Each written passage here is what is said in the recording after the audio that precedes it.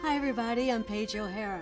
I'm the voice of Belle from Beauty and the Beast. Gaston, you are positively primeval. But I've also been an artist my entire life, and I've been with Disney Fine Art the last 10 years painting for them.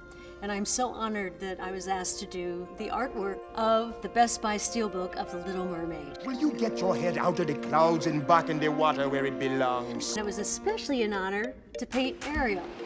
Jodi Benson is the beautiful voice of Ariel, and she and I go back a very long time, back in the 80s on Broadway together. We've Yeah. been friends for 38 years. I know. And now you as our lead artist for the cover, I'm super proud of this woman. Thank you. So this is really special. And when I started studying The Little Mermaid again and watching it, it was really ironic to me how much Ariel is Jodi Benson. You monster!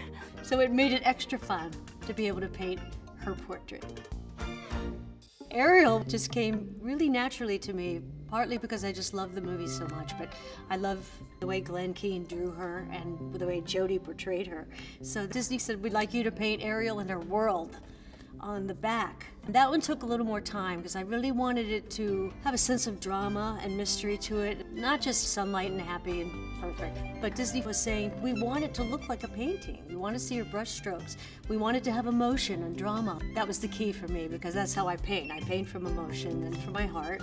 It is truly an honor to be a part of this 30th anniversary of The Little Mermaid.